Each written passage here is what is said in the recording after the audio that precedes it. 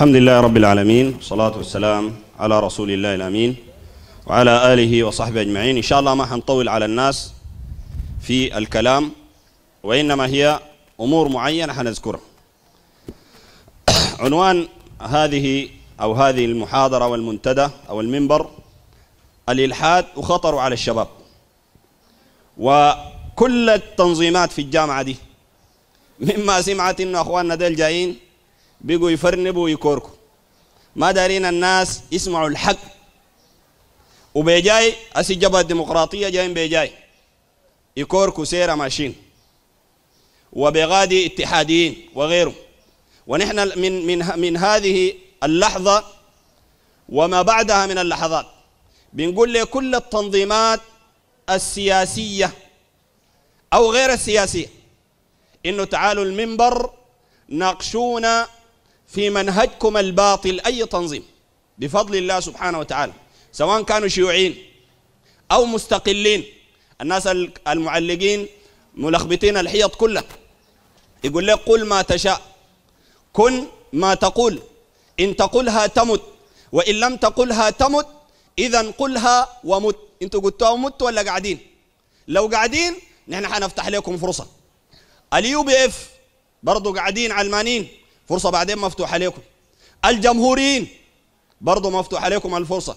أنصار السنة برضه الفرصة مفتوحة لكم الجبهجية شعبي ووطني برضه الفرصة مفتوحة لكم تجوا تناقشوا ونناقشكم في أفكاركم ومنهجكم. المسألة الأولى يا أخواننا بالراحة. الإلحاد هو الميل. ربنا قال ولله الأسماء الحسنى فادعوه بها وذروا الذين يلحدون في أسمائه. أي يميلون عنها بغير ما أمر الله سبحانه وتعالى وعن الأمر الذي أمر الله عز وجل به. لأنه الإلحاد اسمه هو شنو؟ هو الميل في اللغة. فالزول المائل عن الصراط المستقيم ده الملحد. وبذلك يدخل كل إنسان محارب للدين وأي تنظيم محارب للدين. العلمانية أخواننا لما جات في العالم قالوا عندها أسباب. إنه الكنيسة طغت وإنه البابوات حددوا لي كلام تاريخي طويل حددوا لي القيامة يوم وقتلوا العلماء إلى آخره. طيب سؤال مجمل كده حاجة سريعة قبل ما نقف مع التفاصيل. هل الإسلام حارب العلم؟ هل الإسلام دعا إلى ظلم الناس؟ هل الإسلام قال إنه زول الدين له أن يمشي على رقاب الناس؟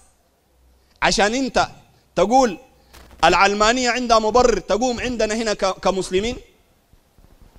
وأنا الكلام ده داير أقوله للطلبة لأنه نحن من بدري بنجي الجامعة دي عشان نشتغل. الناس تد بتشتغل من الشيوعيين للكيزان كلهم بيشتغلوا.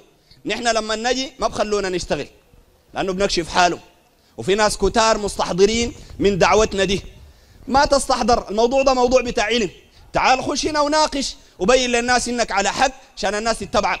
لكن كلها تنظيمات باطلة وفاشلة. عرفتها؟ يعني باطلة في منهجها. طيب دي مسألة. المسألة الثانية يا أخواننا الشيوعيين والجماعة ديل والعلمانيين ديل مناهجهم كفرية وبعادوا الدين. كل العلمانيين لأنه العلمانية ال secular كلمة علمانية يعني secular قالوا هي حركة اجتماعية تهدف إلى صرف الناس عن الاهتمام بشؤون الآخرة إلى الاهتمام بشؤون الدنيا فقط. يعني العلماني بيقول لك أنا ما عندي لك حاجة في الآخرة. أنا موضوعي معاك في الدنيا. وهم بذلك يحاربون جميع الأديان. أما الشيوعيين قالوا نحن جينا ضد الدين عديل. في كتاب البيان الشيوعي وهذا اللي قاعد. الكتاب. قالوا فالشيوعية. ده كارل ماركس وفريدريك إنجلز. قالوا فالحال أن الشيوعية تلغي الأخلاق الأبدية تلغي الحقائق الأبدية تلغي الدين والأخلاق عوضا عن تجديدهما دي الشيوعية فهم الناس دي ضد الدين وناس جو يحاربوا الدين. العلمانيين في السودان الشماعة حقتهم اللي بيتعلقوا بها لما يجي يطعنوا في الدين يقول لك الكيزان فعل. والكيزان يا اخواننا هم في منهجهم أصلا ذاته منهج علماني. الكيزان الجبهجية والكتب حقتهم قاعدة لكن ما دارين نطول على الناس. أنا بس دار ألخص الكلام عشان بعدين نفتح فرصة ناس يجي يداخلوا ويناقشوا في الكلام ده. ونتحدى أي علماني. نتحداك ونديك الميكروفون تناقش بالحجة والعلم. فهمت الحاصل؟ فنحن بنقول يا أخواننا إنه الكيزان ذاتهم ناس علمانين لأنه سيد قطب بيؤمن بالاشتراكية. وآخر دستور في السودان ختاوى الترابي يزعم أنه دستور إسلامي سنة 98 فيه المادة أربعة من الدستور أن المواطنة هي أساس الحقوق والواجبات. يعني ما مرقوا من العلمانية أبدا. ونحن عندنا في الإسلام إن الحقوق والواجبات تبنى على أساس الإسلام وعلى أساس الدين. دي مسألة. بعد ما الكيزان فاتوا العلمانيين قاموا فتشوا يمين وشمال. قال يا أخواننا هاسي السلفيين دول نحاربهم كيف؟ ما بنقدر نحاربهم. قالوا أيوه نقوم نجيب الحزب بتاع محمود محمد طه. الجمهوريين نجيبهم هنا عشان نحارب بهم السلفيين قال. إنه فكر وقدر فقتل كيف قدر. ثم قتل كيف قدر ثم نظر ثم عبس وبسر ثم أدبر واستكبر وإن شاء الله حيجي هنا ويجغم بإذن الله. فهمت الحاصل؟ فانت جهز روحك يا يا محمود محمد طه. ودائما العلمانيين منابرنا دي مبجوهه لأنه منابر مسخنة بالحجة والدليل. العلماني تلقاه اتحادي. نحن جينا بشورة طهرنا. ولما حكمنا الناس راضين. وما عنده ولا كتاب. لا الدارين ولا دبابة. ولا تاجرنا باسم الدين. وأكبر زول تاجر باسم الدين. صح ولا ما صح؟ العلمانيين والختمية اللي بتدعم محمد عثمان المرغني ما تاجروا بالدين؟ جو خاشين على المرغني خش مع الإنجليز. وقال الإنجليز لما قالوا دارين سكة حديد علي المرغني قال لهم بجيب لكم أنا بس. قام بقى يقول للجماعة الختمية اللي معاه اللي بيجيب لي شبر بتاع خشب عشان يخطوه تحت السكة حديد شبر. أنا بديه متر في الجنة. انت لا انت ماسك قطع الأراضي في الجنة ولا شنو؟ فده لعب بالدين ولا ما لعب بالدين؟ وكلام كثير أنا ما دار أمرق من الموضوع. لكن تعلم إنه يا أخواننا ديل لما فقدوا الحجة الأحزاب دي قالوا والله يا أخي كده نجيب الجمهورين. وجابوهم في بورسودان جابوا أسماء محمود محمد طه. والجمهورين ديل يا أخواننا عندهم عقائد ما عندها أي علاقة بالدين والإسلام. ومحمود محمد طه الكافر الملحد ودي نحن بنتحدى بأي زول. ولو كلامنا ده ما عجب زول اللي يفتح بلاغ. نحن قاعدين هنا ليه بعدين إن شاء الله؟ خليه يقول لو ما عنده اسمي أنا بديك اسمي رباعي. بديك اسمي رباعي أمشي أفتح بلاغ. محمود محمد طه كافر تب. وجاهزين للقراي. جاهزين لأسماء محمود محمد طه. جاهزين للشفت المعاه مش الخشة انصار السنة صار السنة قالوا خشة. لأسماء. لمرة ما قادر على؟ مرة. يعني صار سنة هذا أخونا ده طالب معاكم هنا كلمني. خشة. عرفتها خشة لأسماء دي كدته الكتب. قالت له هطلع الكلام اللي أنتم بتقولوه في محمود محمد طه إنه بقول الله وبني آدم واحد. وجيب لنا كلام إنه محمود ما بيصلي. وجيب لنا كلامه إنه بقول رسالة الرسول ما نافعة. والرسول كتم شيء من الدين. أدته الكتب قالت لي امرقها لنا صار سنه ما قدر يمرقها عرفتها؟ ما فاضي. ونحن أنصار السنة لما نجي البلد دي بيقفلوها قدامنا. عرفت الحاصل؟ المهم ده موضوع ثاني فنحن هنا جاي لك بكتب محمود محمد طه وأسماء محمود محمد طه. عرفتوا كلامهم كله؟ قاعد موجود عندنا. وفي مقاطع بتاعت يوتيوب. انصار سنه ما كان تخش اليوتيوب. فعل لك خدمة بجنيه بس. بتلقى الكلام موجود. لكن ما فاضيين يا ناس. كويس؟ طيب. فأنا دار أخش في الحزب الجمهوري. ومحمود محمد طه قتل بالإسلام والحق. أنا بديك كلامه؟ وبعدين اي زول يقول لي محمود محمد طه قتلوه. ظلم؟ أنا بديك الكتب توريني الكلام ده رأيك فيه شنو؟ عرفتها أنا دار أديك مواضع بسيطة بس. وبعد ذاك نفتح الفرصة لكل الناس بإذن الله سبحانه وتعالى. طيب. آه محمود محمد طه بقول الإنسان الكامل هو الله. إنه البني آدم هو الله. والفكرة دي جابها من وين؟ الفكرة دي يا أخواننا جابها من الصوفية. بيقولوا لك انت بتعبد الله لغاية ما تحصل مرحلة في اليقين بتسقط عنك العبادات وانت ذاتك بتبقى الله. الكلام ده وين؟ في كتاب القادرية هنا لو في عليك الله أمر قولي كتاب الفيوضات الربانية في المآثر والأوراد القادرية. وفي كتاب الختمية برضو لو لو عندك كتب الختمية جيبها. الختمية قالوا قال أنا المحيط أنا الجليس على العرش. ده الختم. المحيط كما أحط بالغيب تفصيلا وإجمالا. ده الختم. يعني إنه عبد الله لغاية ما حصل مرحلة بقى هو الله ذاته. عرفتها؟ وده هنا برضو الشيخ بيتكلم عن روح وكذاب ساكت. بتاع القادرية قال أنا كنت مع نوح.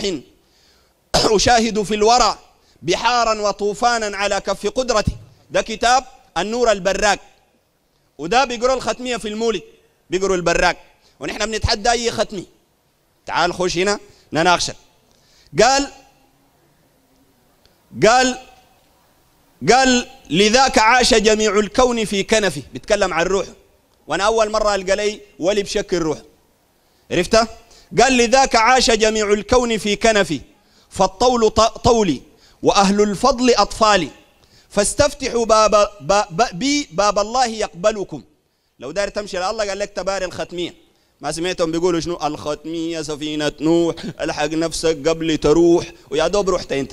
طيب قال ويصطفيكم بتقريب وإيصال. واستمطروا به باب الفيض يغمركم بوابل الكرم القدسي القدسي في الحال واستمسكوا بعراء لا انفصام له.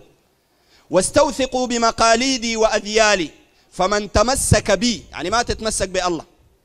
قال فمن تمسك بي أو حل في حرمي نال المرام بلا ريب وإشكال أنا الجليس على العرش المحيط كما أحط بالغيب تفصيلا واجمالا.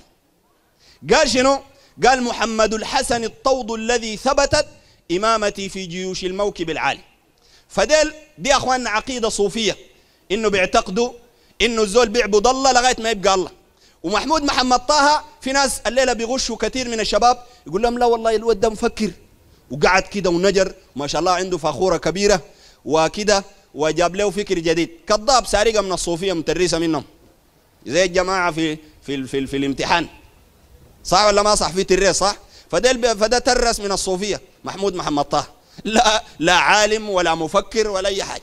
طيب قال أنا لمريدي بيتكلم عن نفسه. حافظ ما يخافه وأنجيه من شر الأمور وبلوتي الشيخ قال بنجي الأمور من البلوى ونتحداك تعال نجي مريدك هسي في المنبر ده من البلوى إنما مش اعتبرنا بلوى قال وكن يا مريدي حافظا لعهودنا. أكن حاضر الميزان يوم الوقيعة. قال لو بقيت صوفي تمام الشيخ بيجي يحضر الميزان. أنت قال الميزان حق السكر؟ لا. الميزان قال يوم القيامة. لو موازينك رجحت الشيخ ما في داعي يتدخل يتدخل لكن لو موازينك ما رجحت الشيخ أنا ما بعرف بيعمل شنو؟ بتقل لك الموازين. طيب لغاية ما قال أنا كنت في العليا بنور محمد وفي قاب قوسين اجتماع الأحبة. قال هو كان في الإسراء والمعراج. ده القادر. قال وكنت مع إبرا وكنت مع نوح أشاهد في الورى بحارا وطوفانا على كف قدرته قال أنا كنت من زمن نوح. عمرك كم يا شيخ؟ عمرك كم؟ ها؟ قال أنا كنت مع إبراهيم ملقا بناره وما برد النيران إلا بدعوته. وربنا قال قلنا يا نار كوني شنو؟ بردا وسلاما على إبراهيم. قال أنا كنت مع راعي الذبيح فداءه وما نزل الكبشان إلا بفتوتي أنا كنت مع موسى مناجاة ربه وموسى عصاه من عصاي استمدت. قال عصا موسى عليه السلام الضرب بها البحر فانفلق فكان كل فرق كالطود العظيم. قال العصاية دي ما أصلية الأصلية حقتي موسى شال مني. والله ده اللي يبقى موسى الزومة. لكن موسى عليه السلام كذاب. لغاية ما قال شنو؟ قال أنا كنت مع يعقوب في غشو عينه وما برئت عيناه إلا بتفلته قال بزغ في عين النبي. ده صوف البليد ده. قال بعد ذاك يعني برئت. لغاية ما قال أنا الذاكر المذكور ذكرا لذاكر. طبعا الذاكر هو العبد والمذكور هو من يا أخواننا؟ هو الله. قال هو الذاكر والمذكور. هو العبد هو الله. قال أنا الذاكر المذكور ذكرا لذاكر. أنا الشاكر المشكور شكرا بنعمتي. أنا العاشق المعشوق في كل مضمر. أنا السامع المسموع في كل نعمتي. أنا الواحد الفرد الكبير بذاته. أنا الواصف الموصوف شيخ الطريقة. مش قال أنا الله؟ قال وما قلت هذا القول فخرا وإنما أتى الإذن حتى يعرفون حقيقته قال لي الليلة أنا متواضع. صح أنا الله لكن أنا آسي متواضع. دي, دي العقيدة. طيب نجي لمحمود محمد طه. في كتاب القرآن نحن مشينا معرض الكتاب الدولي في الخرطوم ومشينا اشتريناه ب 400 وحاجة و60 وحاجة زي دي جنيه سوداني. ها؟ أه؟ اشترينا الكتب بتاعت محمود محمد طه ذاته ودي بعض الكتب في كتب قاعدة لسه برضه ما اشترينا. طيب هنا في الكتاب ده الصفحة 164 انت اسمع الكلام اسمه القرآن. عرفتها الثمن قال 250 قرش لأنه دي طبعة قديمة. من زمن كان قرش. وهو ده ما بساوي المداد الذي كتب لي كتب به. صفحة 164 أنا بس دار أديك مواضع بسيطة على أساس إنه يعني تشير إلى ما وراها بعد ذاك الزول لو دار يجي أولها لنا لو في واحد مجيط من أتباع محمود محمد طه يقول لك له ما كان قاصد كده. كويس تعال ورينا أنت أبو عريف. تعال خش ورينا. هنا قال ونلاحظ في هذا الفصل هو برد على زول محمود محمد طه الهالك الديناصور الكبير الذي قصه النميري جزاه الله خيرا عن الأمة الإسلامية جمعاء قال ونلاحظ في هذا الفصل فصل أسماء الله بيتكلم مع واحد رد عليه. أنك لم تتحدث عن أسماء الله إلا في أسطر صفحة 137 قال وقد تورطت في خطأ كبير. الخطأ الكبير شنو يا محمود؟ محمد طه. قال حين زعمت أن اسم الله يعني لفظ الجلال الله اسم علم على الذات الإلهية. يعني قال لي انت غلطت غلط كبير. لما قلت لفظ الجلالة الله ده يدل على الخالق الرب سبحانه وتعالى. أها طيب الصح شنو؟ قال والحق أن الله إنما هو علم على الذات الحادثة وهي الإنسان الكامل. وهي شنو? الإنسان الكامل. يعني لما تقول يا الله أنت بتنادي في منه في الإنسان الكامل ما بتنادي في الله. ده محمود محمد طه. أديك تاني من كلامه في الصفحة الرسالة الثانية من الإسلام. الصفحة 91 92 إنه الإنسان هو الله واحد. عرفته؟ ده النقاش بيكون كده بالكتب والحجج. لكن متلمين علمانيين وشيوعيين حكاية القردة شالت نبقة وخدت نبقة وجدعت نبقة وأنا البحر الكبير إن عبروني. وأنا الشوك الكتر إن جرجروني. وأنا الجن اللي بيخلي الكوز ينوني. أنتوا كلكم بتنونوا. واحد فوقكم بيحترم عقل الطلبة أو بيجي يناقش نقاش منطقي ولا موضوعي ولا علمي ما في. ونتحداكم شت جيبوا دكتور جيبوا بروف جيب مؤسس الحزب جيب أي زول تحداك طيب واكتب الكلام ده عندك. صفحة 92 91 92 هنا صرح به قال هنا يسجد القلب وإلى الأبد بوصيد أول منازل العبودية. فيومئذ لا يكون العبد مسيرا وإنما هو مخير. ذلك بأن التسيير قد بلغ به منازل التشريف. فأسلمه إلى حرية الاختيار. فهو قد أطاع الله حتى أطاعه الله. معاوضة لفعله. فيكون حيا حياة الله. قال لما أنت تعبد الله تمام بتبقى حي زي حياة الله. وعالما علم الله. ومريدا إرادة الله. وقادرا قدرة الله. ويكون الله. أي زول شاكي في الكلام ده تعال اقرأ. ده محمود محمد طه ده مسلم ده عنده علاقة بالدين. طيب لو دار اكفر أسوي شنو يعني؟ عرفته وده كله يا أخواننا باطل لأنه ما ممكن إنسان يكون حي حياة الله. لأن حياة الخالق لم يسبقها عدم ولا يلحقها زوال. لكن البني آدم في زمن كان ما في وبعد زمن حيبقى شنو؟ حيبقى ميت وما في. ربنا قال هل أتى على الإنسان حين من الدهر لم يكن شيئا؟ مذكورة إنا خلقنا الإنسان من نطفة أمشاج نبتليه فجعلناه سميعا بصيرا. عرفته؟ ده واحد. نمرة اثنين حياة ربنا كاملة وحياة الإنسان ناقصة لأنه حياة الله لا يعتريها العجز ولا يعتريها النوم ولا يعتريها النعاس ولا يعتريها المرض ولا يعتريها الحوجة إلى الطعام والشراب. والمخلوق كيف؟ يمرض يشقى ينعس ينوم ينسى وهكذا. قال وعالما علم الله وده برضه كذب.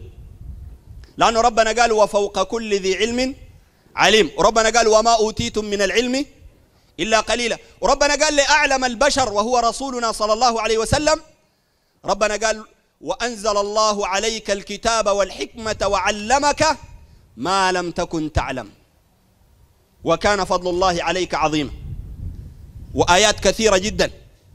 وربنا قال للنبي صلى الله عليه وسلم قل قل لا أقول لكم عندي خزائن الله. ولا أعلم الغيب ولا أقول لكم إني ملك. طيب. بعد ذاك قال ومريدا إرادة الله. وده كذب طبعا. لأنه ربنا سبحانه وتعالى قال وإذا أراد الله بقوم سوءا فلا مرد له. ونحن هسه بنريد حاجات كثيرة وما قادرين عليها. نحن دايرين العيش يرخص. رخص؟ يبقى إرادتنا ما زي حقة الله. ودايرين البنزين يتوفر. يتوفر؟ يبقى إرادتنا ما زي حقة الله. ودايرين المهور تقل قلت؟ يبقى إرادتنا ما زي إرادة الله. بل واحد بتلقاه داير بيت عديل وبده شاكوش بده شاكوش صح؟ طيب إرادتك زي إرادة الله؟ فده يا أخواننا كلام باطل. قال ويكون قادرا قدرة الله. وربنا عز وجل قال سبحانه وتعالى ألم تعلم أن الله على كل شيء قدير؟ قال ذلك لتعلموا أن الله على كل شيء قدير وأن الله قد أحاط بكل شيء شنو؟ علما. فقدرة الله لا يمكن أن تساوى وتقارن بقدرة المخلوق. وكلام كثير فده يدل الموضع ده براو يدل على كفر محمود محمد طه. وهنا محمود محمد طه كتابه ذاته اسمه بس بيمرقوا برا الدين. قال الرسالة الثانية من الإسلام. دي second version دي النسخة الثانية من الإسلام يعني. دي إنتاج محمود محمد طه عرفتها وربنا قال اليوم أكملت لكم شنو؟ دينكم. وأتممت عليكم نعمتي. ورضيت لكم الإسلام دينا. قال الإمام مالك فما لم يكن على عهد النبي صلى الله عليه وسلم وأصحابه دينا فلن يكون اليوم شنو؟ دينا. وكلام يطول. وأنا بس اختصرت لك وإلا المواضع كثيرة جدا. في كتب محمود محمد طه. بعد ذاك الجمهوريين الجمهوريين بيكفروا المسلمين شت في مقطع كده فوقه جمهوري أبصلعة لو لو شايفه بس ما قاعد بالترتيب. لو لقيته شغله. بكفر المسلمين شت قال إنتوا الليلة اللي بتصلوا ديل شت ما قاعدين تصلوا. ديل جمهوريين. شغل الميكروفون. لا لا دي ما يهو ده ما يهو ده ما يهو. بس ألاحظ له لو لقيته شغله قالوا المسلمين سالوا سألوا المذيع جابوه في قناه ام درمان. واحد جمهوري متزوج أظن أسماء بنت محمود محمد طه. المهم جمهوري في النهاية. لا ده ما يهو. ده ما يهو ده القراي بس انت لو لقيته شغله. ها؟ ده الدالي؟ هاي شغله.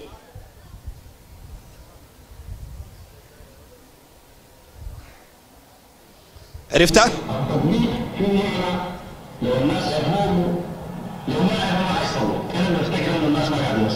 ركز ركز.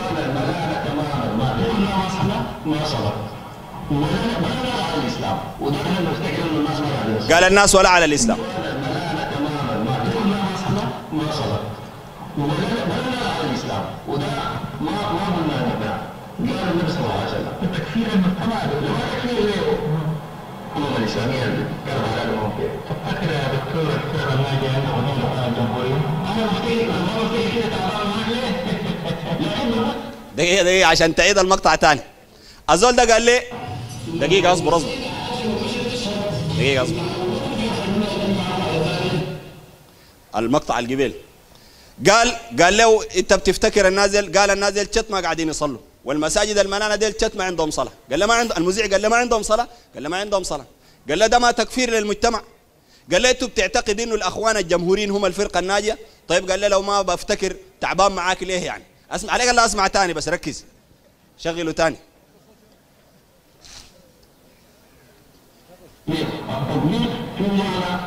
لو الناس عرفوا ما حيصلوا إحنا بنفتكر ان الناس ما قاعدين يصلوا الجوال الملانة تماما ما في كلنا ما صلى ما صلى ولا ولا نرى الاسلام وده إحنا بنفتكر ان الناس ما قاعدين يصلوا الجوال الملانة تماما ما في كلنا ما صلى ما صلى ولا ولا نرى الاسلام وده ما ما قلنا نحن قال النبي صلى الله عليه وسلم تكفير المجتمع لما تكفير له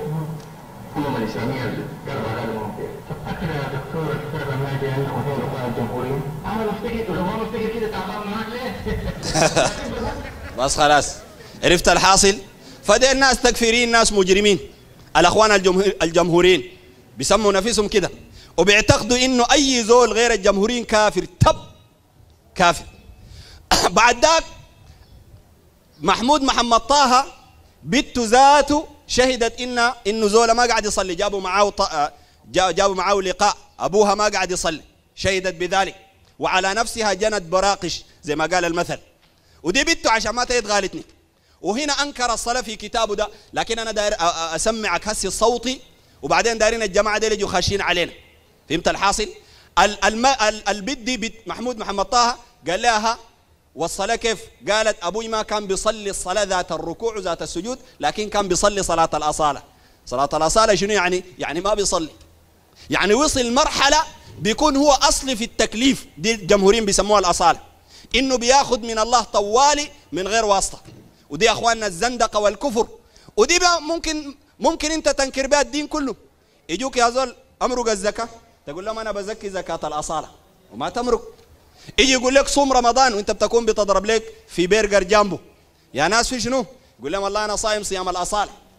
آه يقول لك يا زول أبعد عن الزنا انت بتكون بتزني. يقول لهم أنا والله آه دي العفة بتاعت الأصالة.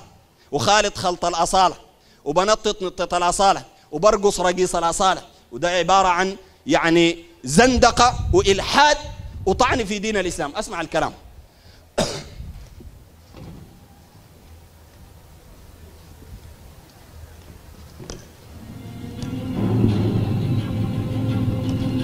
خليه خليه. الأستاذة أسماء محمود محمد طه دي مش جابوها هنا القيادات الجمهورية الفائزة هل تقدر الأستاذ محمود محمد طه تحدث عن أن الصلاة ركع بعمل؟ الاستاذ محمود ما كان بيصلي الأوقات الخمسة بمعناها ما معناه انه الأستاذ محمود ما كان بيصلي الصلاة للسجود للركوع الصلاة المعروفة دي خمسة اللي بصلي الأستاذ ما كان بيصلي الصلاة الركوع والسجود. بس خلاص. عرفتها؟ أكفي اكفي ده الموضوع انتهى. تاني في زول داير له شهادة تاني؟ دي بنته ذاته وبعدين أنتوا قلتوا مساواة الرجل بالمرأة. ها اسماء ذات مراه وانتوا رجال وبتاع مساواة واحدة. وشهدت شهدت لأبوها قالت أبوي ما كان بيصلي. الصلاة ذات الركوع والسجود المعروفه عند المسلمين. يعني ما كان بيصلي. عشان كده قام جاب الكلام بتاع الصوفية. توضأ بماء الغيب. إن كنت ذا سر تمشي للفكي والدجال. تلقاه ما بصلي زول ما بيصلي مالك؟ يقول لك أنا بصلي في مكة. وناس مكه صلوا لهم نص ساعة. كذاب مجرم. يقول لك أنا بصلي في مكة. أها طيب سلمنا معك. بتصل مكة كيف؟ يقول لك أنا من أهل الخطوة. خطوة هنا في بورسودان والثانية في جدة والثالثة في مكة.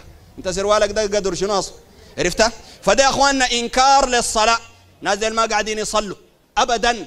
وده براء كفر لأنه ربنا عز وجل قال قال فإن تابوا. وأقاموا الصلاة وآتوا الزكاة فإخوانكم في الدين. يعني لو ما تابوا وما أقاموا الصلاة ولا آتوا الزكاة ما إخواننا في الدين. والنبي عليه الصلاة والسلام قال العهد الذي بيننا وبينهم شنو؟ الصلاة. فمن تركها فقد كفر.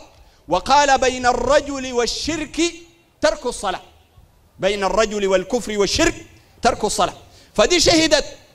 شهدت. وزي ما ربنا قال وشهد شاهد من أهلها. شهدت إنه أبوها ما كان بيصلي. وده الكلام اللي أصليه في كتاب الرسالة الثانية للإسلام. ونحن من هنا أي طالب يا أخواننا موجود؟ كويس؟ داير يسأل سؤال عن الجمهوريين أو يستفسر شبهة جابوها الجمهوريين نحن بنفتح الباب للأسئلة والاستفسارات المباشرة. وحتى لو كان عن طريق الورق برضه ما في مشكلة بنجاوب عليها وبرضه بنفتح الفرص للتنظيمات والأحزاب الموجودة في هذه الجامعة وفي غير هذه الجامعة. الكلام عندنا طويل ولو ما جيتوا خشيتوا يا تنظيمات الطلبة بيعرفوكم اتكشفتوا. وفي النهاية نحن نحن كلامنا بنقوله بنقوله. فهمت الحاصل؟ وكونكم ما تجوا خاشين ده يدل على إنه التنظيمات ما عندها حجة في الجامعة. عرفتها؟ فنحن بنفتح الفرصة للمداخلات والأسئلة والنقاش.